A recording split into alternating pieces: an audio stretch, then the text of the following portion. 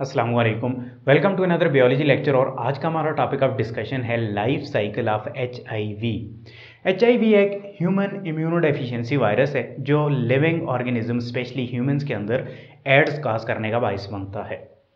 इस लेक्चर में हम एच आई वी का लाइफ साइकिल स्टडी करेंगे, यानी एच आई वी अपना, अपनी नंबरिंग कैसे इंक्रीज करता है right right? Now we know that H I V is human immunodeficiency virus तो ये ह्यूमन के इम्यून सेल्स को इन्फेक्ट करता है। सो so, इसका लाइफ साइकिल कहाँ से स्टार्ट होगा? ये इम्यून सेल में एंटर होगा इम्यून सेल के अंदर ही रेप्लिकेशन करेगा क्योंकि वायरसेस जो हैं वो ऑब्लिगेट पैरासाइट है सिर्फ़ लिविंग ऑर्गेनिज्म के सेल्स के अंदर ही रेप्लीकेट कर सकते हैं। सो so, ये यहाँ सेल के अंदर अपनी रेप्लीकेशन करेगा बहुत सारी कापीज़ बनाएगा और सेल को और सेल से बाहर निकल जाएगा, ठीक है? सेल को इन्फेक्ट करके बाहर निकल जाएगा। So this is how virus is replicating so step wise देखते हैं कि वायरस कैसे इंटर होता है, कैसे रिकॉग्नाइज करता है सेल को, कैसे रेप्लीकेशन करता है, कैसे रिलीज़ करता है। As we have already study the structure of H I V virus जिसमें हमने कहा था H I V virus enveloped virus है, और इन्वेलप में कुछ ग्लाइकोप्रोटीन के पैटर्न्स प्रेजेंट होते हैं। इनसाइड कैप्सिड होता है कैप्सिड के अंदर जेनेटिक मटेरियल होता है और इसका जेनेटिक मटेरियल आरएनए होता है और कुछ इंजाइम्स प्रेजेंट होते हैं like reverse transcriptase integrase and protease right now first step क्या होता है कि वायरस ह्यूमन बॉडी के अंदर एंटर होता है थ्रू डिफरेंट वेज किन वेज से एंटर होता है? ये हम जब एड्स को डिस्कस कर रहे होंगे, वहाँ पर डिफाइन करेंगे। सो so, यहाँ पर वायरस एंटर हो चुका है ह्यूमन बॉडी के अंदर। अब ये ह्यूमन बॉडी के अंदर स्पेसिफिक टाइप के सेल्स होते हैं जिनके ऊपर C D four protein present होती है। जिनकी सेल मेम्ब्रेन के ऊपर C D four protein present होती है और ये वायरस इन सी डी फोर प्रोटीन को रिकॉग्नाइज करने की सलाहियत रखता है। सी डी फोर प्रोटीन वैसे तो सेल्स के अंदर इम्यून सेल्स के अंदर बहुत इंपॉर्टेंट फ़ंक्शंस परफॉर्म कर रही होती है। Cell to cell recognition communication different functions होते हैं इसके। लेकिन सम टाइम ये सेल्स के लिए नुकसान का बायस भी बनती है। क्यों? क्योंकि सी डी फोर के पैटर्न को वायरस रिकग्नाइज करके इसके साथ अटैच हो जाता है। ठीक है? और फिर एंट्री कर लेता है inside the host cell talk about what are the cell which have C D four protein in our body ऐसे कौन से सेल्स हैं जिनके अंदर सी डी फोर प्रोटीन जिनकी सेल सरफेस पर प्रेजेंट होती है? सबसे पहले टी हेल्पर्स जो सेल होते हैं ना, उन पर आपको सी डी फोर प्रोटीन मिलेगी। इसके अलावा मैक्रोफेजेस होते हैं। मैक्रोफेजेस की सरफेस पर C D four protein present होती है और कुछ डेंड्रेटिक सेल्स होते हैं। इन सेल्स में आपको सी डी फोर प्रोटीन इन सेल्स की सरफेस पर मिलेगी। सो वायरस जो है इन सेल्स को इन्फेक्ट कर सकता है, क्योंकि virus C D four protein को रिकोगनाइज कर लेता है। सो फ़र्स्ट स्टेप क्या होता है? Fusion of H I V to cell surface of the host cell की जो सर्फेस है, उसके ऊपर वायरस आकर अटैच हो जाता है फ्यूज़ हो जाता है।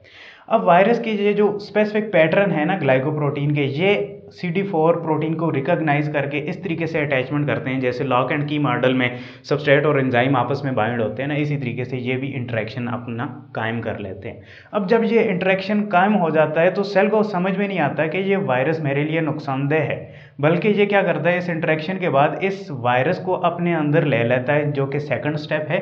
Viral protein enter inside the cell by endocytosis endocytosis के फिनमिना से ये वायरस जो है, ये इंटर हो जाता है इनसाइड द सेल और एंडोसाइटोसिस आप जानते होंगे, जब सेल कोई चीज़ इंगल्फ करता है तो उसको एंडोसाइटोसिस बोलते हैं, जब कोई सॉलिड चीज़ को इंगल्फ करता है।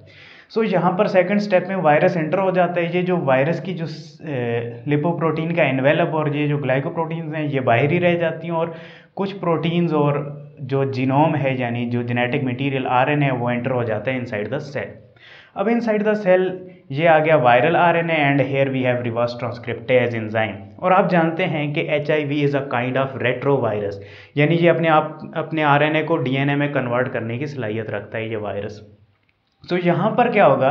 रिवर्स ट्रांसक्रिप्टेज की मदद से ये वायरल आरएनए कन्वर्ट हो जाएगा डीएनए में।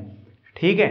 सो so, ये थर्ड स्टेप होगा। Viral DNA is formed by reverse transcription reverse transcriptase की मदद से जब आरएनए से डीएनए बनता है तो उस प्रोसेस को रिवर्स ट्रांसक्रिप्शन बोलते हैं। अब यहाँ पर वायरस का डीएनए बन चुका है। और यहाँ से एक और एंजाइम भी इंटर हुआ था इनसाइड द सेल जिसे इंटीग्रेज बोलते हैं। अब इस इंटीग्रेज एंजाइम का काम शुरू होता है इंटीग्रेज एंजाइम क्या करता है वायरल डीएनए को इनकॉर्पोरेट करता है इनटू द होस्ट डीएनए और यहाँ पर होस्ट डीएनए कौन सा है human DNA so integrase enzyme क्या करता है इस वायरल डीएनए को न्यूक्लियस के अंदर लेके आते हैं न्यूक्लियस के अंदर हमारा डीएनए होता है उसके अंदर कट लग के वायरस का डीएनए उसके अंदर फिट हो जाता है इंटीग्रेट हो जाता है इनकॉर्पोरेट हो जाता है so here we have viral DNA and here we have host DNA और human DNA in red colour so step four क्या है viral DNA is transported across the nucleus and integrated into the host cell. Viral DNA nucleus से अंदर आता है और host DNA के अंदर जाकर इनकॉर्पोरेट हो जाता है। अब नेक्स्ट स्टेप में क्या होता है?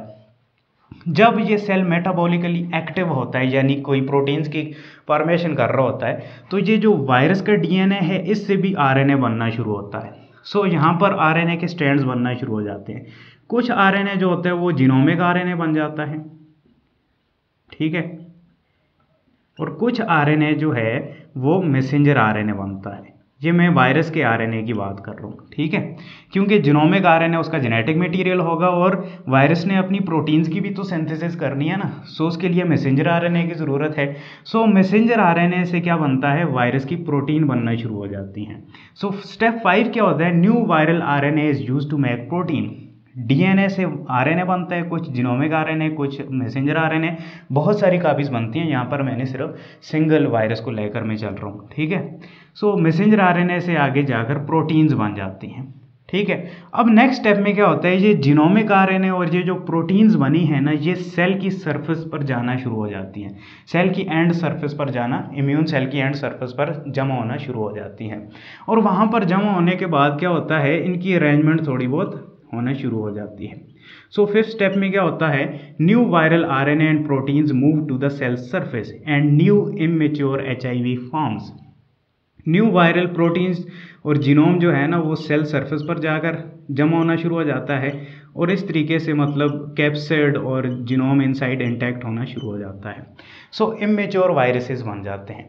अब नेक्स्ट स्टेप होता है जी। ये वायरस जो है, ये बर्ड ऑफ़ होकर कंप्लीट वायरस बन जाता है। बट इससे पहले एक स्टेप होता है। Viral protease cleave new polypeptide to create mature infectious virus and virus is release by exocytosis ये जो वायरल प्रोटीन्स होती हैं ना, इनकी लॉन्ग पेली पोलीपेप्टाइड चेन्स होती हैं। ये शुरू में नॉन फंक्शनल होती हैं। उन पोलीपेप्टाइड चेन्स को एक एंजाइम होता है प्रोटीएस जो वायरस का अपना एंजाइम है, इनको कट लगाता है स्पेसिफिक पोर्शंस पे और उन प्रोटीन को फंक्शनल बनाता है। वो प्रोटीन फंक्शनल होती हैं तो अपनी अपनी स्पेसिफिक लोकेशन पर स्ट्रक्चर बिल्ड करना शुरू कर देती हैं। अब स्ट्रक्चर बन जाती है तो ये वायरस क्या है बर्ड ऑफ़ होना शुरू हो जाता है। और यहाँ पर बात को ज़रा गौर से समझिएगा।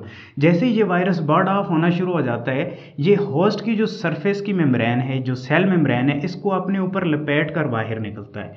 यानी ये जो लिपिड की मेम्ब्रेन है ना ये होस्ट से ये चुरा कर बाहर निकलता है। सो so, यहाँ पर बहुत सारे वायरसेस की सेंथेसिस होती है। Actually many viruses release and often often and cell often dies because of infection यहाँ पर बहुत सारे वायरसेस रिलीज़ होते हैं और मोस्ट ऑफ़ द टाइम जो सेल होता है इन्फेक्शन की वजह से डेथ उसकी डेथ काज हो जाती है। या तो ये सेल बस्ट हो जाते हैं क्योंकि बहुत ज़्यादा वायरसेस रिलीज़ हो रहे होते हैं। सेल अपनी, अपना फ़ंक्शन लूज़ कर देता है। या फिर ऐसा होता है कि सेल के अंदर वायरसेस की ग्रोथ की वजह से बाकी सेल्स को रिकग्निशन हो जाती है कि इसके अंदर वायरस का जो है रेप्लिकेशन स्टार्ट है। तो दूसरे सेल आकर खुद ही इस सेल को डिस्ट्रॉय कर देते हैं। तो इस तरीके से इम्यून सिस्टम वीक होना शुरू हो जाता है।